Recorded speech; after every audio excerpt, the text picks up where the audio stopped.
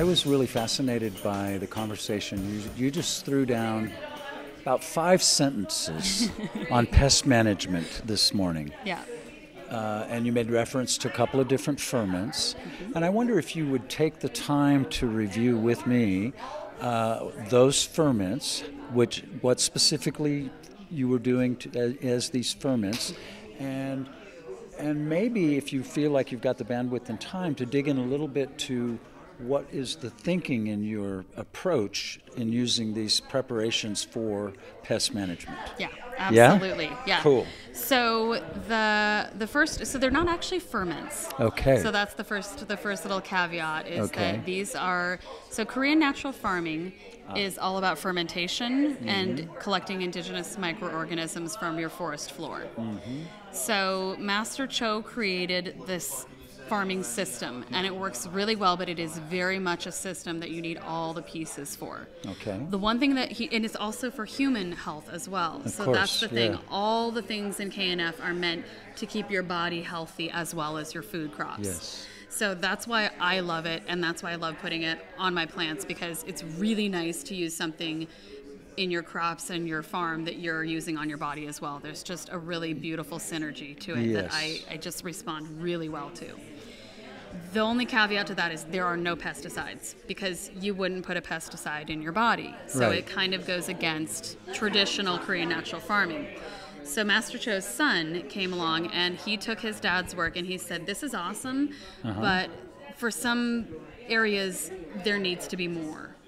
So he started taking industrial, and I, I, I, could be a little bit off on this because the Jadam book that okay. I have yeah, is yeah. in Spanish. Is I bought the is, wrong is one. Master, is Master Cho's book one of? No. Is one of his books the One Straw Revolution? No, that's, that's a different that's, person. Yeah, okay. that's a different person. He's okay. he's amazing too. Yeah. Um, but he's more of like a do nothing farming. So yeah. Yeah. No, there's some similar book. similar That's why I ideologies asked. to it, but different.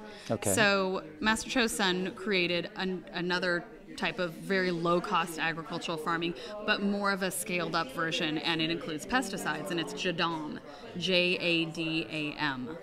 J A D A M. Yep. So KNF stands for Korean Natural Farming. Uh-huh. I believe Jadam has something that it stands Some for as well, but, but it's yeah. it's also called uh, what is it? Extreme low cost agriculture, something along those lines. So it could be that in Korean. I don't really know. Um, so in the Jadam, most of those processes I don't really use. He does a lot of like it's called JLF, Jadam liquid fertilizer, where you Uh-huh. pick whatever weeds you want, you toss them in a bucket, you fill it with water, and you let it sit there and stagnate and kind of rot for like six months.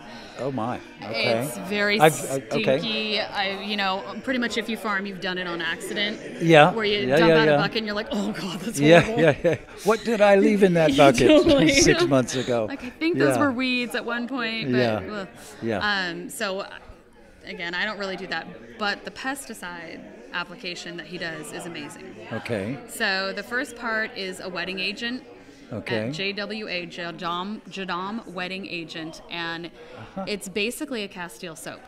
Okay. So what you're doing is you're really making your own soap. You're using potassium hydroxide, you use water, and you use canola oil. Huh.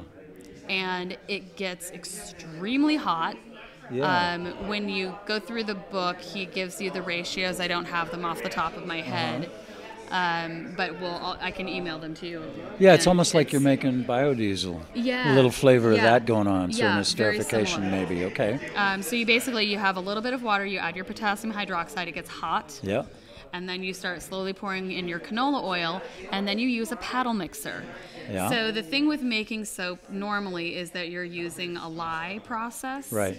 to create the heat. Yes. And what this gentleman did was he said, I want to be able to make a wetting agent, but I want to make it economical and I want to make it that somebody can do themselves. And using lye is very dangerous. So like Yeah. what can we do and how do we do this? And he he he did like over a hundred experiments to get the ratios right. Yes. And he's like, it's all about the paddle mixer. So you take a cordless drill with like a paint paddle Paint mixer, stirrer, yeah, yeah, and yeah. you get down into it and you start stirring it and it starts getting hotter and hotter and hotter and it gets up to like 180 degrees or something. Wow. Like it's like you know you're sweating. It's like kind of brutal. Uh huh. Um, and then you, you take your paddle mixer out when it gets to a certain consistency, like thick mayonnaise.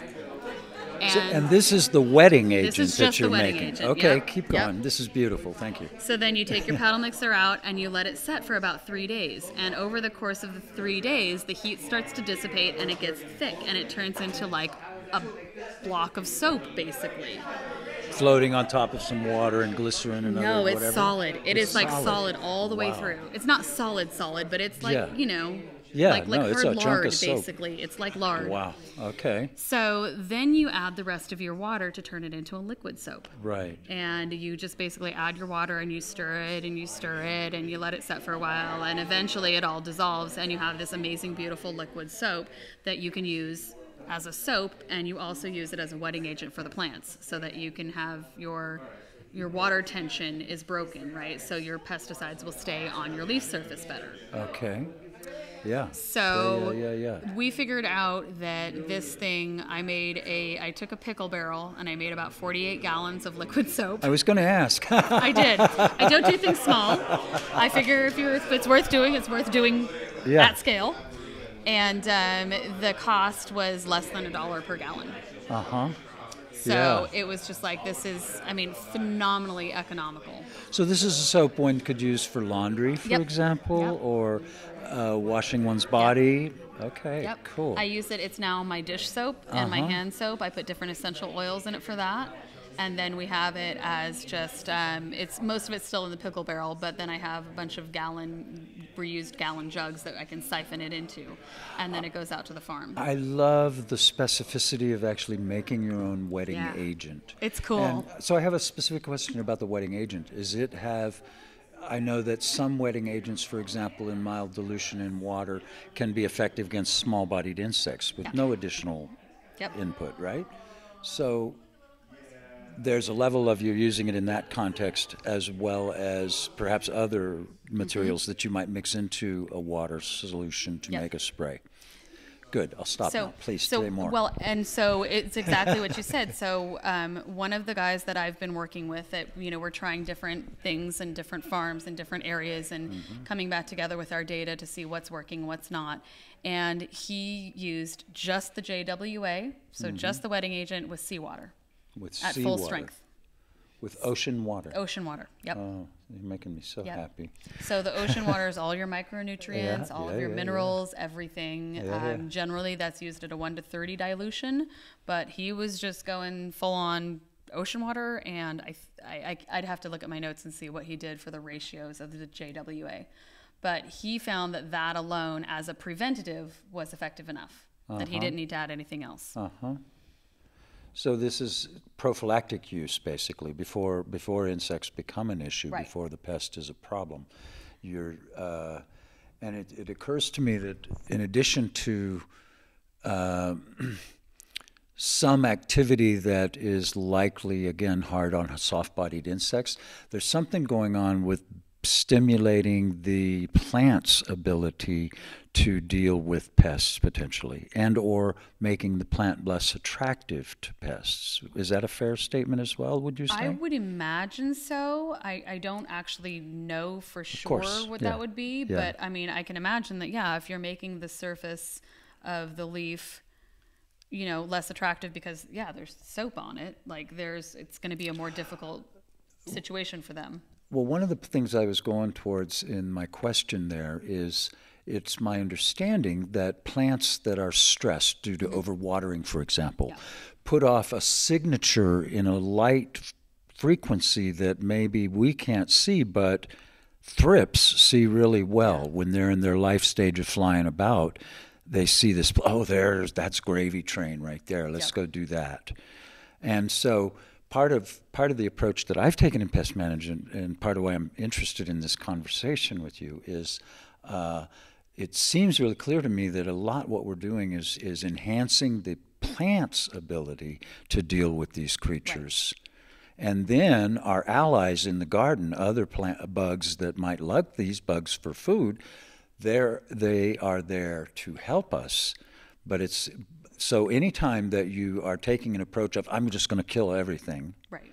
you've really set yourself back a long Yep. ways. Absolutely. Oh, Absolutely. cool, cool. Please, keep and going. what This you're is saying fascinating. Is, is, is 100% correct. So when a plant is stressed or sick, Mm-hmm. it sends out a signal that is visible to bugs, and then they'll continue to put out the pheromones that this is the one we're eating. And what we think is happening is that it has to do with the fact that sick plants have a hard time building their cellulose layers. There so it gets go. Mm. thinner, right? So if it's thinner, it's actually putting out a different signature of, of wavelength of color and light that we don't necessarily notice, but the bugs are very drawn to. Yes. So um, it's it's I mean it's really fascinating stuff when you get into it.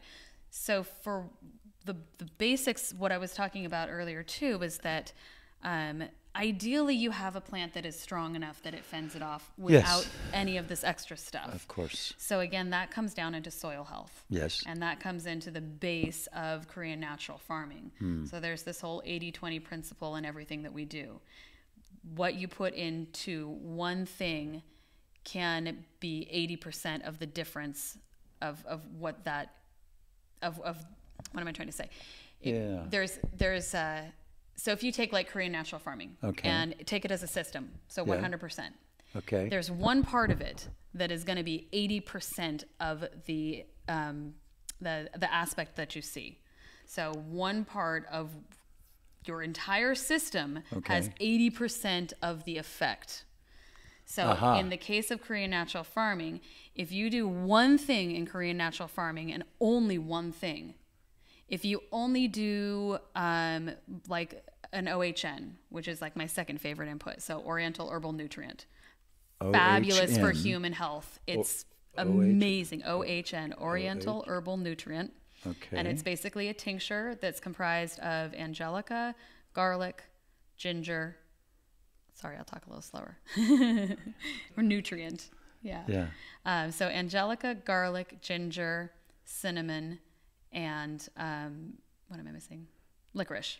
Uh huh. And it takes three months to make. You do a fermentation of that one first. So that's the one you do. You ferment for a week first, and then you start tincturing it with vodka. And you end up with this warm, amazing um, liquor that is just like I take about a half an ounce a day if I'm getting sick. Otherwise, I just take a little sip off of it every now and then. But it's also your kind of your your immune booster for your plants as well. Ah, so.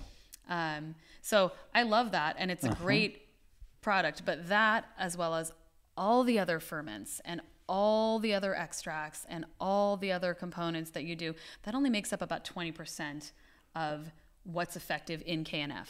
Okay. 80% of the efficacy of this system is the indigenous microorganisms that you're collecting and adding to your soil. Boom. I love And, it. and so this is the thing, it's the thing everybody does last. Yeah. It's one of the hardest ones to nail correctly. Hmm. But once you get it, Mm-hmm. it's just like, I mean, I had a lemon cucumber that I pulled over 200 cucumbers off of this year. Hmm.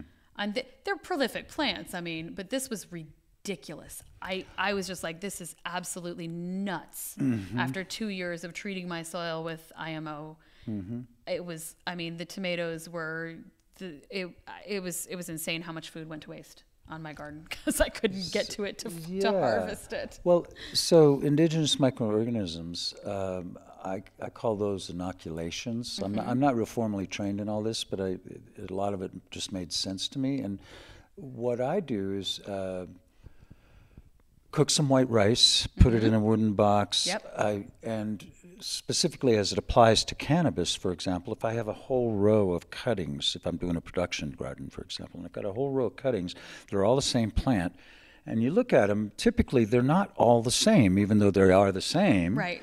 Some of them clearly usually are doing better than others. And what I usually do is I would go to one of the ones that's really flourishing and basically take an inoculation, a cultivation of what's going on in the biology of the soil right underneath that specific plant Yep. and then spread that to the other cuttings. And I do see benefit from that. And Yeah. is that basically what you're talking about? Is a version of that? A version of that. A version of so it. Okay, so, that's very yeah. similar. Um, So the idea of, and we've totally gotten off subject of, of pesticides, but that's okay. We'll get back to it. well, well, this the, the health of the plants, the health of the plants and the soil really contributes to that pest management thing. It So- does, and and this is like you know the basics. If you have the healthy plant, you don't need the pesticides as much, so you can use it as a preventative now and then when Mm-hmm. you think about it. But if you don't have infestations, it's easier to just avoid that. Um, so when you're going out into the forest and you start like lifting up the litter and you Mm-hmm. start looking, you'll eventually start finding areas that are really rich in mycelium. Yeah. So you'll see all that white, beautiful, running, you know, mycelium, and that's where you want to set your that same box, exactly Yes. what you're doing there, but Yes. put it there instead. Yes. And after anywhere from, and this is where it starts getting a little like touchy, after anywhere from like five days to 13 days, depending Yes. on your weather and your humidity and where it is and all of that, it'll culture that whole box. And you get all these beautiful colors of And you different things going colors, on. but a, a lot of the white fluffies, what you're really wanting. But we always have color in ours. There's always a little bit of pink and a little and bit of yellow and a little bit of green and a little bit of this and that. So then you take that, and what you want to do is you want to create a shelf stable product. okay. So you're going to add it one to one with brown with sugar, ideally demerara or a raw sugar, but brown sugar works fine too. Yes. One to one by As weight. versus molasses that's unsulfured, for example. Molasses is not good. Okay. And the reason why is we're not looking for a sugar content on this. We're looking for the what the sugar does is it actually draws all the water out of the microbes. Ah, and what you've done Ah, is through the osmotic pressure of the sugar removing the water, the microbes then are basically dehydrated and they go dormant. and shelf stable. And now they're shelf stable for years. Blessed So be. now you have all of those indigenous microorganisms that were thriving in that area, in that condition, with that temperature and that humidity and that time of year. Mm-hmm. And you have now encapsulated them on your shelf to be utilized when you need to later. And the sugar, you're going about equal amounts, one to one volume wise. By weight. By weight, By volume. okay, By, by weight, not volume. Okay. And then what you what you're really going after is doing this from a couple different spaces Yes. Uh, on the li- on the land. Yes. On your land. Every ideally, season. Okay. Ideally, 500 feet elevation above where you're growing. oh, really? So, I'd have to go to somebody else's land But to pull that one to. off. But I don't. I don't. I mean, What I love about this approach, that what you just described, is you are capturing the biology that is working on your land, Mm-hmm. Yes. that is flourishing on your soil in the in the soil you have, and so it seems to me you're you're basically helping nature to bridge into your garden or any place you're using this preparation. Exactly.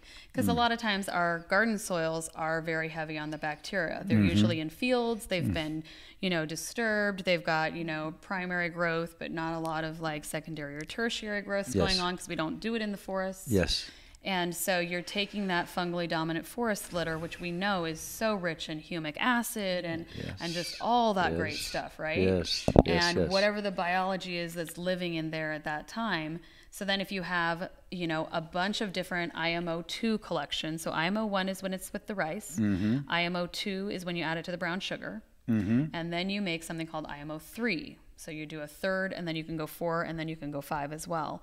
And number three, you're taking a bunch of your different twos. So I would take something from my spring collection, something from my summer collection, something from fall. I've yet to pull off a winter one, but uh, someday I will, and I'll have that in there too. Or, you know, if you have, you know, as your collection builds, you can start using more and more and more of them. And now you're inoculating a carbon and carbohydrate source. So you're using wood chips and a grain usually Yeah. and you're making a bigger pile and Mm-hmm. you're keeping it low in heat so you're not composting it. You want to keep it below 130 degrees Okay. so you're flipping it a lot. You're turning it. And th- you'll see that that fungal hy- that fungal uh, mycelium starts interwebbing all of that. And so now you have what's called IMO2 3 pardon me which also can be stored longer term once it's finished. But it's now encapsulating all of those different fungal collections that you did. So it's not just one kind that's dominant, you've got a huge diversity. And if you take that to your garden and you spread that out, and you can, your IMO4 is the same thing, but then you're adding soil from your garden. So now it's the biology is really ready for exactly the soil that it's going to go into. Mm, um, mm-hmm. And then you can do IMO 5, which is adding a nitrogen source. So you can add that to a manure or something and you can make it go much further. Uh-huh.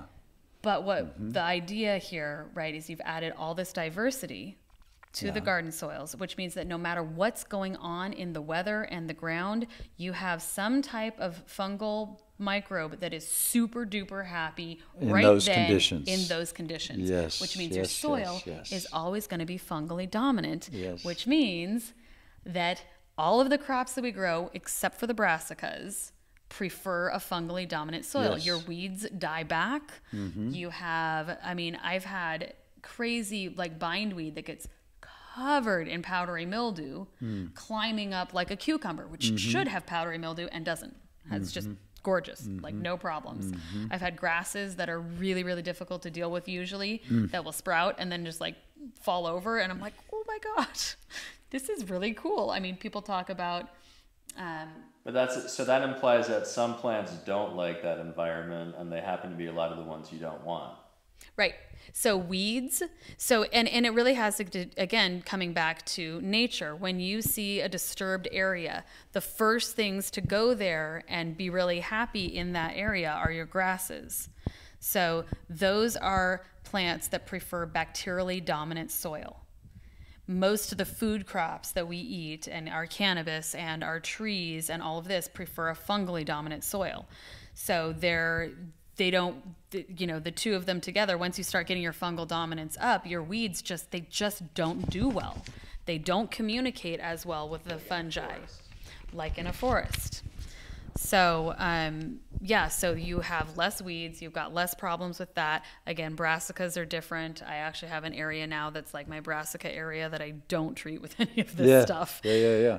um, you use manures there, for example. i don't use anything there i just kind of ignore it Fair enough. not the best brassica grower, honestly. Okay, I love it, but it's just like I'm like, huh. I actually pulled off some really good cauliflower for the first time ever, so that was exciting. Um, but yeah, so so you have your indigenous microorganisms. You've got already a stronger, healthier plant.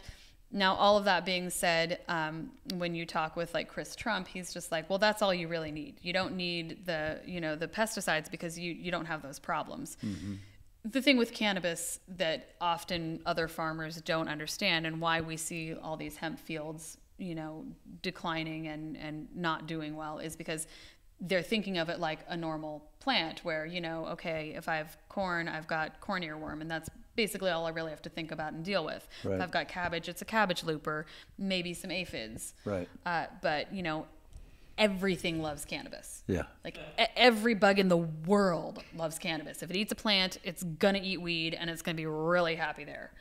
So we get into this problem of sometimes, you know, having healthy soil is not enough. Yes.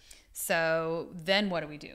So we love the idea of putting out beneficial insects. We love the idea. The green lacewing cards are phenomenal. They're really cheap. It takes care of the majority of your pests. Mm-hmm. But you know, now you invite all your friends over from the DEM Pure collective, and everybody walks through without thinking about the fact that they, you know, walked in their own garden that morning, and now everybody has all the bugs that everybody else has. and, yes, you know, it's definitely a thing that happens. It is, and we, you know, I, I love the idea that or the ability that I have now to show off my farm, but I also do recognize the fact that you know, more than likely that's where a lot of our pest problems come from.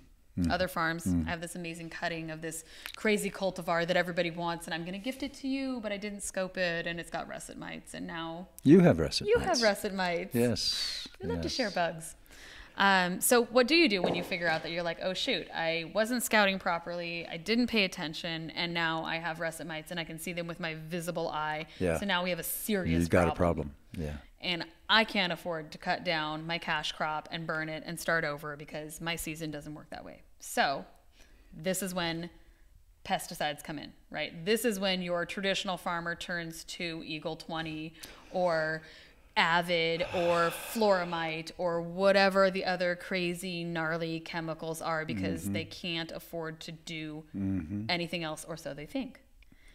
Right? So, what do we as natural farmers do when we're at this problem? Like, you know, a lot of people just, they're like, oh, I bought 500 million ladybugs and and released them and they all flew away in They- three days. yep. and then the ones that stayed pooped all over my weed and now i can't sell it. So this is where we kind of really got deep into the jadam and into like there's got to be better solutions and there has to be ways that we can do this economically. There's some products that are available that work really well but they're mm-hmm. just they're ridiculously expensive. Mm-hmm. Um, yes. so the JWA we talked about, that's your mm-hmm. wetting agent. It does work pretty well on its own, somewhat. So like For uh, soft some- bodies. for the soft Yeah, bodies. So some yeah. of the aphids, you know, but the hop aphid or the um, well, what might be the hop aphid or the cannabis aphid, whichever varietal it is now. Um, that particular one just breeds so damn fast that Yeah. even as you're killing it, it's it's hard to keep ahead of it with just JWA.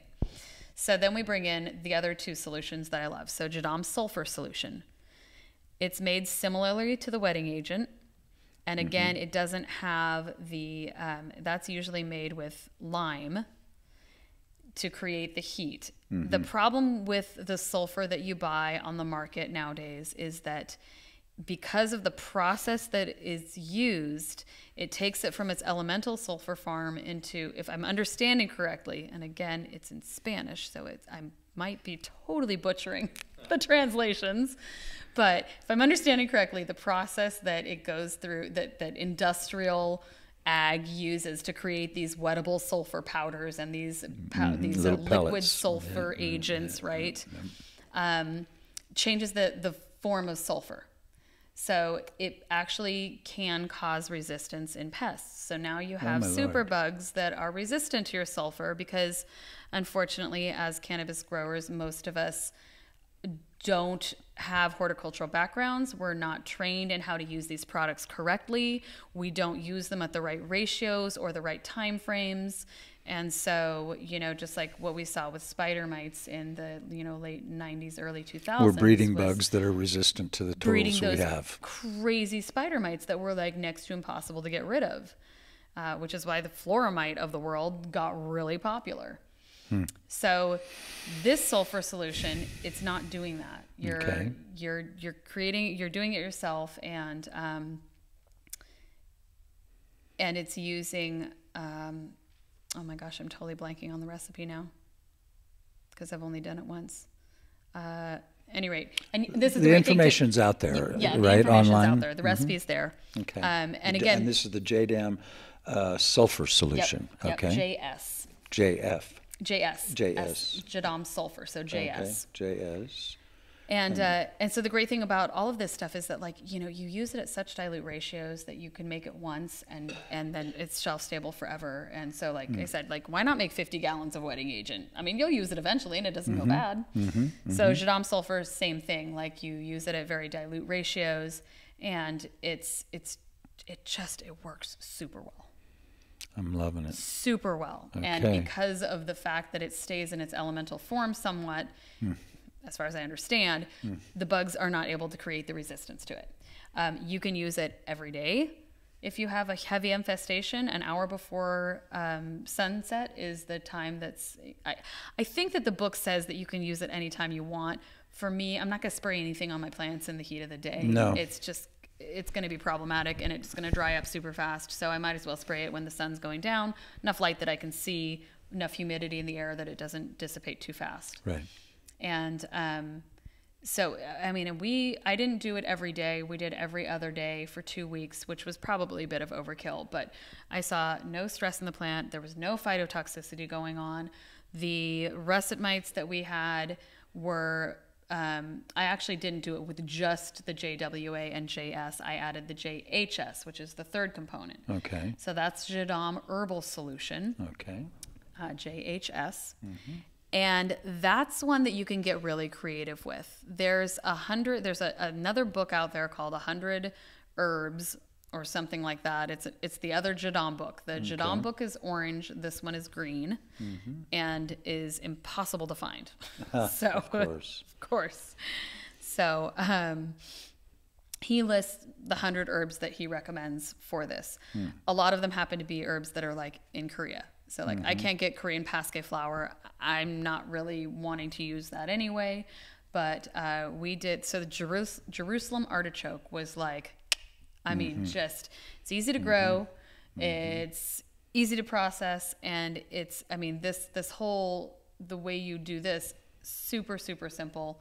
You're putting it in a pressure cooker or a crock pot, and you're just basically cooking it for eight hours on mm. high heat. Mm. And what you end up with is all those chemical compounds that have been extracted out into your water, and then you're adding it to your other solutions, and it's just this amazing trifecta of, I mean, we had a hemp cultivator in Colorado that used uh, a garlic, I think, JHS. I'm not a fan of that one, but um, because probably because I like garlic and why would I waste it on that? Yes. Um, so, but you can do it with like hot peppers. You can do it with garlic. You can do it with ginkgo. Uh, so the ginkgo leaves, the Jerusalem artichoke, and then we went off script and used California bay laurel.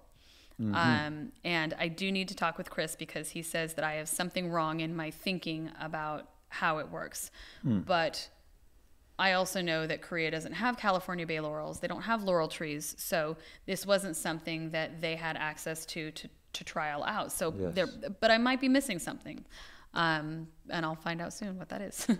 um, This person, Chris, his last name was Hunt Trump, Trump. no relation. Oh, good. Glad to hear that. Yeah. Yeah. yeah.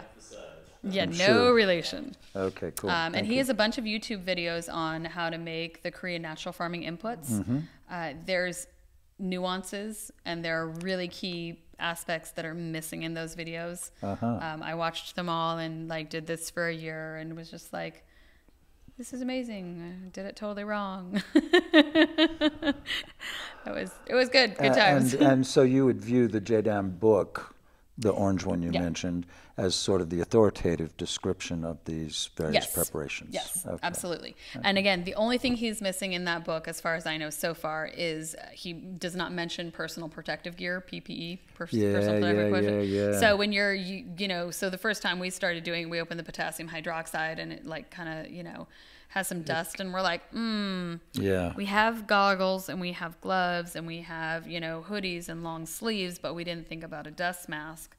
So it, it became really apparent in about 10 seconds that we had to go get a dust mask. Yes. Um, so the same thing with the Jadam sulfur. He doesn't tell you like, to, you know, really gear yourself up because the stuff gets hot. It's, it is noxious. These aren't pleasant things to work with. um, And the JHS also, that was my first one with Jadam, was the herbal solution that I did myself out of the bay laurel. And uh, oh my God, that stuff. So the interesting thing, I did a bunch of research first, and I'm like, there's a compound called eugenol that's contained mm. in mm. cloves mm-hmm. and in bay laurel. And mm-hmm. clove is one of the compounds that is recommended in the Jadam book. So I'm like, Okay. okay, well, if the eugenol is the actual property that is pesticidal, it's in our bay laurels as well. It should be about the same. So I picked a ton of leaves and I put them in the crock pot and I weighted it down with these rocks and I let it cook. And it was inside the house. Oh, mm. Yeah, that was a bad choice. After about 20 minutes, you could not go inside. Like the, the, the very air would like just set off all the mucous membranes. I mean, my nose was running, my eyes were watering. yeah. It worse, so much worse. like It- really highly concentrated bay really- laurel smell. Yeah. Because if you take those leaves and crush Yep. them, it's a very strong, almost mentholy Right. kind of smell. very strong That, smelling, and that's the eugenol. Yeah. And so now imagine that you took, you know, what, four pounds of these leaves and started like Yeah. cooking them.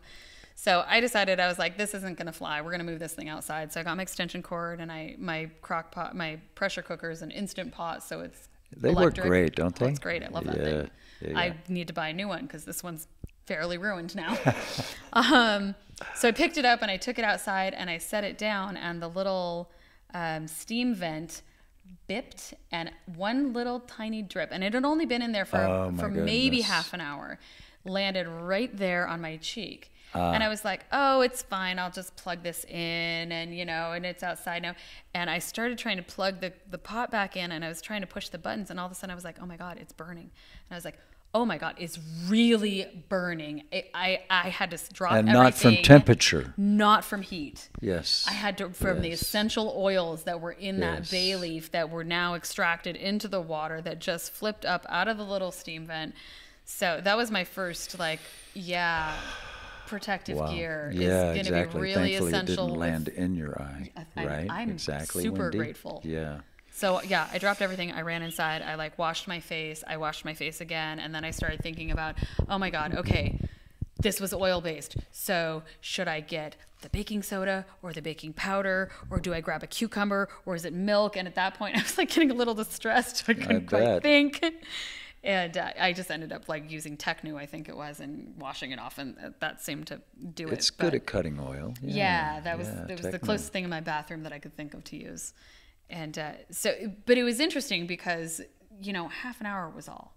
So now after eight, Eight hours, hours, it's pretty potent. I'm pulling the rocks out, and at this point I'm I'm ready. I've have like my respirator, and I've got big huge kitchen gloves on, and and the protective eyeglasses which have holes in the bottom of them Oh no! Yeah, yeah. because I guess they want you to not fog up or something. I don't know. So yeah, I'm sitting there like, okay, I'm totally ready this time, and I started pouring it into the jars because this is another one that's shelf stable. If you pour uh-huh. it all the way up and you seal it while it's really hot, it'll self seal. You don't have to pressure cook it or hot water bath it or anything, and then you can you know use it much later down Yes. the line. So I'm pouring it in, and it's just like I, I was having the worst time because the scent was so strong, and I mean it was like absolutely burning my eyes, and uh, it was it was I was very impressed. At this point, I was like, okay, this what I don't even know if this is right or not, but this is an impressive. Like if I was a bug, I would not want that anywhere near me. Yeah. So, uh, great story about how important personal protective gear can be. um, so, I have a question, at least one more, if you don't mind. Yeah, absolutely. I'm really appreciating this information. Uh, the JWA, um, as a wetting agent, I'm imagining you know you've you've made 50 gallons of this soap. You only need what a teaspoon of it in a gallon, a couple of drops in a gallon to make a spray. So it it depends, um, Uh-huh. and there seems to be there's a in the Jadam book he actually talks about infestation rates and Okay. dilution rates.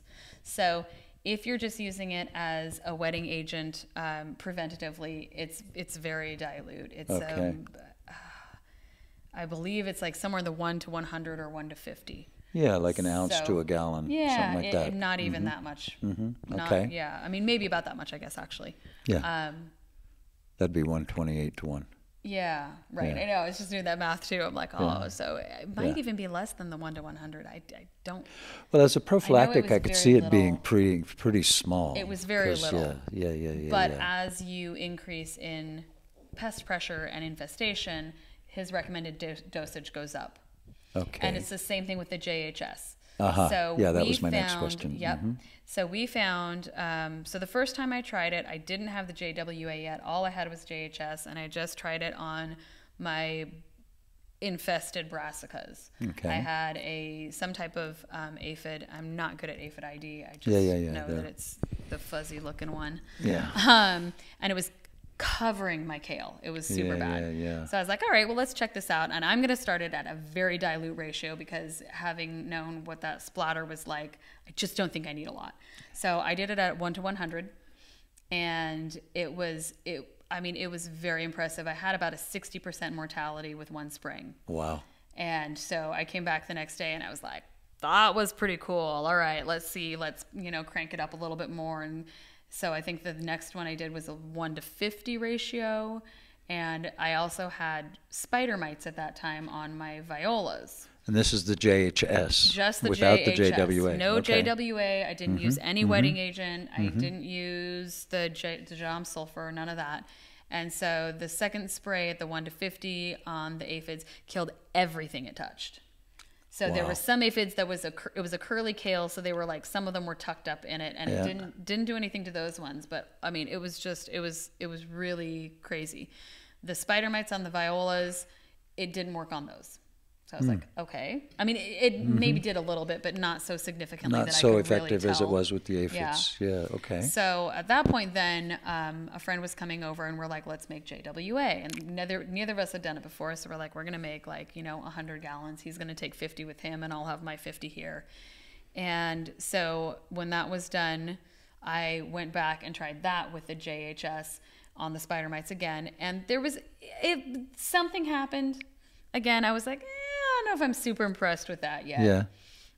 Um, and at that point, then we were talking with Tina, who was who was adding JS, the Jadam sulfur, and she had russet mites, and sh all she had was the Jadam sulfur. So we started communicating, and she was like, "Okay, I'm going to make the JWA, and I'm going to make the JHS, and I'm going to do it with garlic because that's what I have." And I think she did chili peppers, and um, and so she did the three of them and together within I, I think it was like it was a very short period of time like two weeks basically. She was just like we have full eradication. Like this is like it's it's killing Wonderful. everything um, and another friend of ours was also doing it. He did the california bay laurel jhs um, maybe ginkgo but i don't really recall for sure if he used that. And then the JS and the JWA. He used them at much higher concentrations than we had done and found that his plants didn't suffer at all. And again, he had pretty much eradication of the of the um, russet mites That is so spectacular for something you can make Yeah. on your farm. and pennies per gallon. Yeah. I mean, once it's diluted, it's Yeah. I mean, it's just phenomenally economical. And I love that it is that you know that you're not going to have to be concerned about residual breakdown products that you might with some of the store bought products that you might think are going to be a better answer. I really, uh, I'm really struck by the uh, the description you've given me this evening. Um, And for me too, like a big part of it is especially with cannabis in California and a lot of the states, the testing is so regulated that like I might buy something that says that it's you know clove oil and rosemary and you know all these wonderful little natural things, but then they slide pyrethrins in because it works really well and Yep. they maybe they're like oh it's maybe you don't know that it's chrysanthemum and so you read it and you think you're okay or maybe they just don't even say it on the label like if i'm making it myself think i, know you know what's, what's in there. Yeah. I know exactly if I know the plant and if I know the what I'm extracting out of it. I know that I can use eugenol because Yes. clove oil is acceptable. Yes. So I know that I'm good to go on that. yes. yes. Oleander, I don't really know what the active ingredient that's Exactly. pesticidal in there. I chrysanthemum is one of them that is recommended. Uh-huh. I know I cannot use that because I know that's pyrethrin and I know that's restricted. But Mm-hmm. if you know what your restrictions are and you, you know, go through these herbs and you know that like capsaicin is your effective ingredient in hot peppers, right? So I know that that's okay to use. Right. So this becomes something that I have full control over Yeah. everything I'm doing on my farm. Yes. I'm making it myself. I have no secondary guesses. People are like, "How do you know you're going to pass pesticides?" I'm like, because I know. I know. because Uh, yeah. I made it, and if I didn't put it in it, it's, it's not, there. Exactly. I really love also that you uh, in in taking on using these preparations. You first started off with crops that maybe not so valuable to you Yeah. as starting right off with your cannabis, uh, which um, much respect for the wisdom of that. Uh, I am uh, grateful. I, I'm going to find out more about Jadam and whatnot. Uh, like I said, I'd like to educate myself a little more fully on the things that I've already been doing in some Yeah. ways, mostly because for myself, I, uh, like I say, I've done some reading, but really in sitting in the garden and trying to understand what I'm seeing and what's going on there, I keep coming back to there the that the plants that are here can provide the answers to the problems or questions that I have. It's simply me being open to them telling me what to do. Yeah. If you, I, it's, it's all funny to go there, but it does No, happen. but I but something I, like I, that happens. I totally to agree. I, I So- 100% agree that there's there's a you know, I mean, like you can teach processes to people, but you can't teach that communication. You can't teach I mean, I don't know. It's it's funny to me to meet people that you know, they're like, oh, I, I can't tell what's wrong with that plant. And I'm like, you can't tell that that's a zinc deficiency? For example. Like, I mean, I, I just, you know, I mean, I, you see all the marijuana magazines now that have all the pictures of things that I'm like, oh, Yeah. that was your ad? Oh my God, you don't see the pH imbalance that's showing with those. Woo, okay. yes. And it's just, it's just rampant. I've seen, there's no farming industry out there where like people don't know what they're doing the way that there is with us. With And- cannabis, it's and I so think a lot of it is that there, there isn't that communication. There isn't that. I mean, like, you know, if you're a really good weed farmer, you're out there like just chilling with your plants all the time. And you just you see the things that are there so much faster, and you're in. And again, like I don't know, for me, just taking it to that spirituality level, where it's like you're outside where it's meant to be, and you're you're in this space where there's there is polyculture and there are those other things going on and sometimes they're indicator plants where you're just like ooh Yes. you don't look good. And I know that you're a delicate little whatever you are. And so if you're not looking good, you guys are probably not feeling so good either. So now I know how to treat everybody. And I love that uh, one of the things you mentioned is the concept of banker plants. Um, love that whole principle as a way of just being aware. And it's, I've come to realize that actually there's plants that one can use uh, to see what the state of the soil is, moisture content in the soil, et cetera, et cetera. Uh, in addition to um, the benefits that can happen for cover cropping or all of the other reasons to have other plants in your garden. I don't know if that made any sense at all. yeah, no, it did. Absolutely. And I, I want to know which ones they are. Well, uh, uh, I don't feel like we have much trouble with moisture content. We've just got great soil that Yeah. deals with things really well. But, um, but yeah, like things that would show wilting first. yeah, there, w Mm-hmm. uh, a friend who has a nursery, a commercial nursery, uh, gifted me some seeds recently, and I am ashamed to say that I don't remember what he called them. But he says that they uh, they really like being uh, in the shade of a cannabis plant, and meantime they will droop, do that droop thing yeah. before your cannabis plants do, because by the time your cannabis plants are drooping, you've gone a little too long. They're not happy about it, and you've hurt the roots. And yes, you can water them, and they'll perk right back up, but anticipating the needs without having to, you know, every four times a day, you're down on your hands and knees digging in the dirt, making sure everything's still good because it's really hot today. Right, And there's right. a breeze. And I, and I have to say, honestly, uh, part of what I'm loving about this, not just the decrease in the cost and the knowing what you've got that you're putting on your plants, but there's just the involvement, the the the extent to which you're there gathering those bay leaves, you're there measuring out those various materials you're putting into this mix, you're there holding that variable speed drill, running this paddle mixer, dealing with the smell, and knowing that what you're doing is going to be enhancing your garden. And to me, this is this is where intention comes into our work Yes. and the importance of who you are and the integrity you bring to what you're doing. Yeah. I love you. Aw. Yeah, I just got to say, that's so lovely. Thank you. Look at you tying that whole conversation into one of the key words of today. love yeah and intention i know it was interesting everybody was talking about intention in their own groups like i was like mm. that's really